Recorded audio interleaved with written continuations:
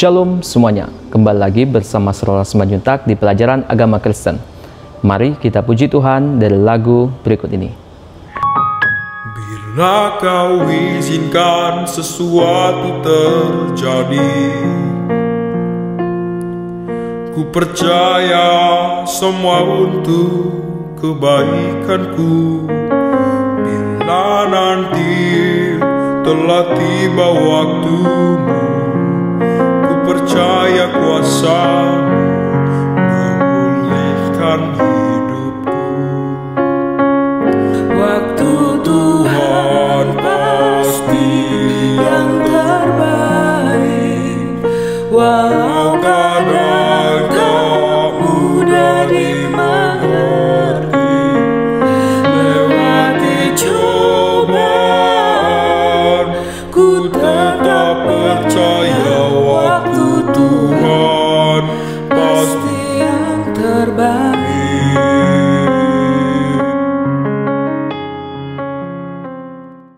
Bapa yang kami sembah, terima kasih atas segala penyertaan yang Engkau berikan kepada kami. Ya Bapa, tak henti-hentinya kami mengucap syukur kepadamu buat setiap nafas kehidupan yang telah Engkau berikan. Bapa, sebentar lagi kami akan memulai kegiatan belajar. Kiranya Engkau sertai dan bimbing kami agar mengerti tentang pelajaran hari ini. Dalam nama Tuhan Yesus Kristus kami berdoa dan mengucap syukur. Amin. Pada bab 13, fokus pembahasan adalah karya Allah dalam membaharui kehidupan orang percaya melalui Roh Kudus. Sehingga pembaharuan itu tidak hanya berlaku bagi manusia, tetapi juga bagi alam dan seluruh ciptaan. Dalam pembaharuan itu, keselarasan hidup antara manusia dan alam dipulihkan, dan sebagai bagian dari pemulihan itu, manusia membaharui visinya menyangkut keselarasan hidup dengan alam ciptaannya. Pembaruan hidup manusia memiliki efek bagi seluruh ciptaan, di mana manusia yang telah mengalami pembaruan hidup memiliki pandangan positif terhadap alam serta bersikap proaktif dalam memelihara alam. Pada bab ini akan dibahas lebih spesifik lagi, terutama perubahan alam yang mencakup perubahan visi dan perlakuan manusia terhadap alam, maupun pemulihan dan pembaharuan alam.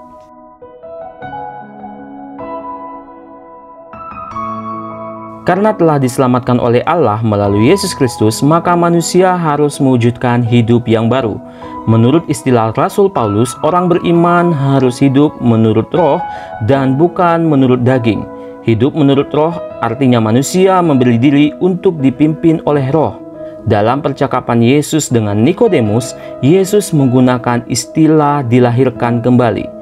Tentu saja Nikodemus tidak memahami makna dilahirkan kembali menjadi bingung bagaimana manusia dapat masuk kembali ke dalam rahim ibunya. Mari kita saksikan video berikut ini. Rabbi, we know that thou art a teacher come from God. For no man can do these miracles which thou doest except God be with him. Verily, verily, I say unto thee, except a man be born again, he cannot see the kingdom of God. How can a man be born when he is old? Can he enter the second time into his mother's womb and be born?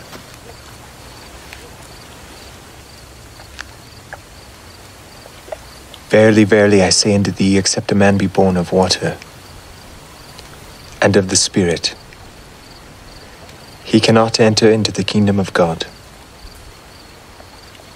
That which is born of the flesh is flesh,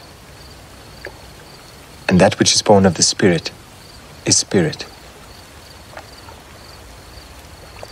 Marvel not that I said unto thee, Ye must be born again.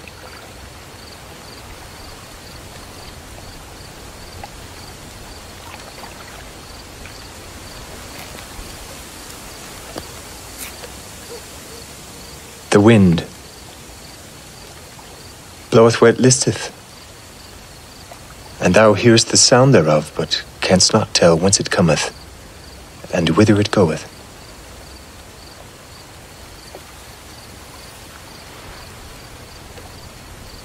so is every one that is born of the Spirit.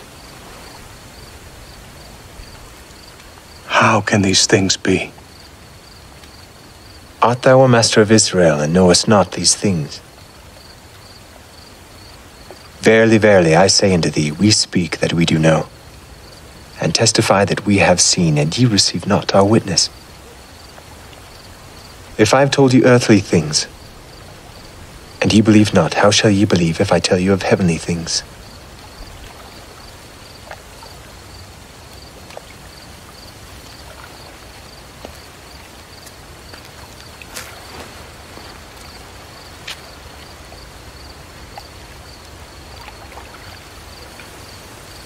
No man hath ascended up to heaven but he that came down from heaven, even the Son of Man, which is in heaven. And as Moses lifted up the serpent in the wilderness, even so must the Son of Man be lifted up, that whosoever believeth in him should not perish, but have eternal life. For God so loved the world that he gave his only begotten Son, that whosoever believeth in him should not perish, but have everlasting life. For God sent not his Son into the world to condemn the world, but that the world through him might be saved. He who believeth on him is not condemned but he who believeth not on him is condemned already. Because he hath not believed in the name of the only begotten Son of God. And this is the condemnation that light has come into the world, and men love darkness more than light because their deeds are evil. For everyone who doeth evil hateth the light, neither cometh to the light, lest his deeds should be reproved. But he that doeth truth cometh to the light, that his deeds may be made manifest, that they are wrought in God.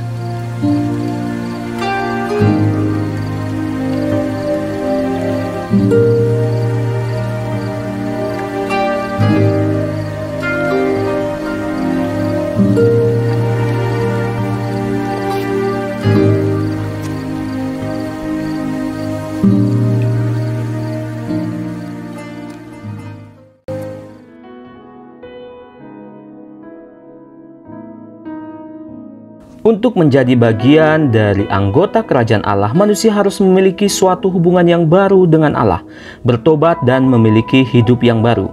Melalui iman dan percaya kepada Allah di dalam Yesus Kristus, orang percaya menerima karunia roh yang mengubah hidupnya menjadi manusia yang berbeda dari sebelumnya. Manusia baru tidak hidup menurut apa yang diinginkannya, melainkan menurut apa yang diinginkan Allah baginya. Manusia tidak berkuasa atas hidupnya karena Allah yang berkuasa atasnya. Pembaharuan itu tidak hanya berlaku bagi manusia, tetapi bagi seluruh ciptaan, termasuk alam. Di masa lalu, pemahaman terhadap pembaharuan hidup cenderung lebih dikaitkan dengan manusia, semata-mata terutama pada kehidupan spiritual. Padahal, pembaharuan hidup mencakup keutuhan seluruh ciptaan, termasuk alam semesta, tempat manusia hidup dan bertumbuh. Yesus telah menyelamatkan manusia dari hukuman dosa, karena itu tiap orang yang telah diselamatkan perlu menanggapi keselamatan itu melalui pertobatan dan hidup baru. Setiap hari manusia berhadapan dengan berbagai godaan dan tantangan. Setiap kali kita jatuh ke dalam dosa, kita membutuhkan pertobatan dan pembaharuan hidup.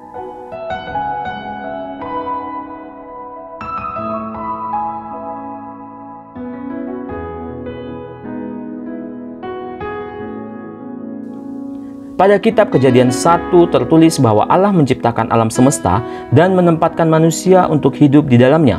Manusia ditugaskan untuk mengatur kehidupan dan ciptaan lainnya supaya tercipta harmoni di alam semesta. ada tanggung jawab yang besar bagi manusia sebagai wakil Allah di bumi dalam menjaga ciptaan lainnya. Tampaknya, dalam kurun waktu yang lama, aspek ini telah dilupakan, seolah-olah manusia memiliki kedaulatan penuh terhadap alam semesta. Pemahaman ini melahirkan sikap sewenang-wenang terhadap alam, manusia tidak memasukkan alam sebagai bagian dari rencana penyelamatan Allah.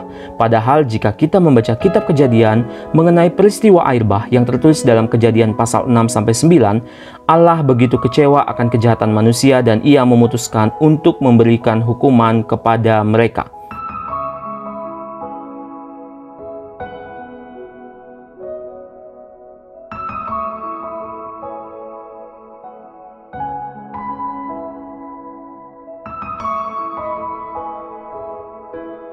Apakah bukti bahwa alam juga dibaharui oleh Allah? Kehidupan alam tidak pernah berhenti. Meskipun terjadi bencana di mana-mana seperti gunung meletus, banjir, longsor, tsunami, dan lain-lain, namun setelah berbagai peristiwa itu kehidupan terus berlanjut, ada pemulihan.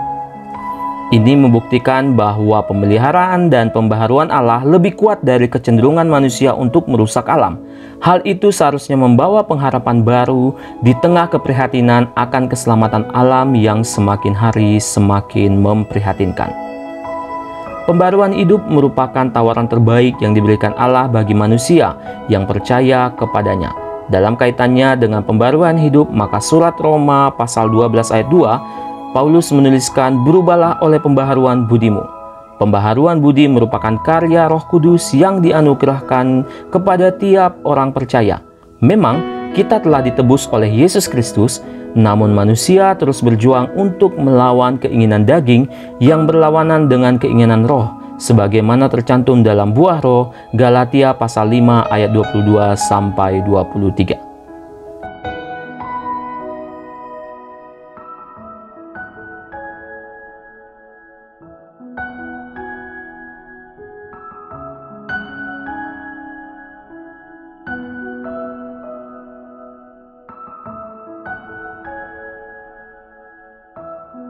Pertama, kehendak Allah dinyatakan dalam Alkitab. Menurut surat 2 Timotius pasal 3 ayat 16 ini, tulisan yang diilhamkan Allah bermanfaat untuk mengajar, menyatakan kesalahan, memperbaiki kelakuan, mendidik orang dalam kebenaran, dalam rangka memahami dan menerima apa yang diperintahkan Allah dalam Alkitab. Tiap orang membutuhkan pembaharuan akal dan budi. Tanpa akal budi yang dibaharui, sulit bagi kita untuk memahami perintah Allah yang ada dalam Alkitab Bayangkan ada banyak pernyataan yang begitu keras menyangkut perintah Allah yang merupakan kehendaknya. Misalnya mengenai penyangkalan diri, kasih, mengasihi musuh, kesucian, tampar pipi kiri, berikan pipi kanan, jangan menghakimi sesama, juallah segala hartamu dan berikan kepada orang miskin, dan lain sebagainya. Yang kedua, bagaimana menerapkan kebenaran Alkitab pada situasi-situasi baru yang mungkin atau tidak mungkin dibahas secara jelas di dalam Alkitab. Alkitab tidak memberitahu kita siapa yang layak menjadi teman, sahabat, bagaimana belajar dengan baik, bagaimana mewaspadai pornografi dan penggunaan alat komunikasi secara bijak, bagaimana memanfaatkan media sosial seperti Facebook, Twitter, dan lain-lain. Bagaimana caranya menghindari tekanan dari teman-teman, bahkan menghadapi kekerasan. Alkitab mengajarkan banyak prinsip dasar yang dapat kita gunakan dalam menghadapi tiap situasi, terutama dalam memutuskan apa yang kita lakukan. Pada kondisi inilah orang percaya membutuhkan pembaharuan akal budi dan hati nurani sehingga kita mampu memahami perintah Allah dalam Alkitab dan menerapkannya dalam hidup. Oleh karena itu, amat berguna jika orang percaya setia beribadah maupun melakukan kegiatan kerohanian seperti kelompok pemahaman Alkitab dan kegiatan lainnya sehingga dalam persekutuan kita dibantu untuk memahami secara lebih mendalam mengenai apa yang Allah kehendaki untuk kita perbuat di dalam hidup. Ketiga, sediakan waktu yang berkualitas untuk merenungkan firman Tuhan yang tertulis di dalam Alkitab. Melalui perenungan yang mendalam, tiap orang percaya memiliki kesempatan untuk lebih memahami perintah Tuhan baginya. Dengan demikian, mereka mampu menerapkannya dalam kehidupan. Perenungan itu juga memotivasi kita supaya merenungkan tiap keputusan, kata, dan tindakan yang hendak kita lakukan. Banyak kesalahan terjadi karena orang berkata-kata dan bertindak secara spontan tanpa merenungkan dahulu apa yang akan diucapkan maupun dilakukannya. Banyak kata dan tindakan yang jahat lahir dari sikap spontan karena dipicu oleh kemarahan ataupun kekecewaan.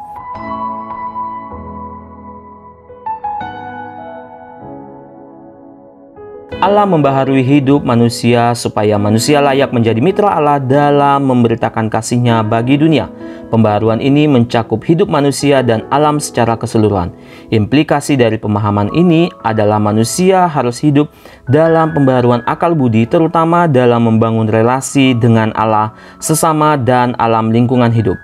Menyerahkan diri pada pembaharuan Allah artinya bersedia untuk mewujudkan kehendak Allah dalam kehidupan sehari-hari. Hal itu dapat terwujud jika manusia bergaul erat dengan Allah melalui kesetiaan berdoa dan membaca serta merenungkan Alkitab. Demikianlah pelajaran kita hari ini. Sampai jumpa di materi selanjutnya. Selamat belajar. Shalom. Tuhan Yesus memberkati.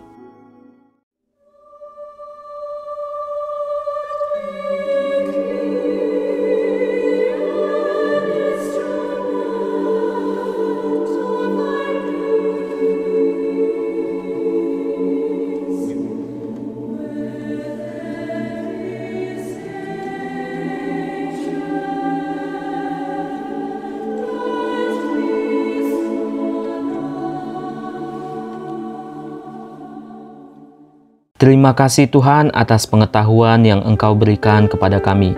Biarlah pengetahuan yang kami miliki dapat kami kembangkan terus untuk kemuliaan namamu. Amin.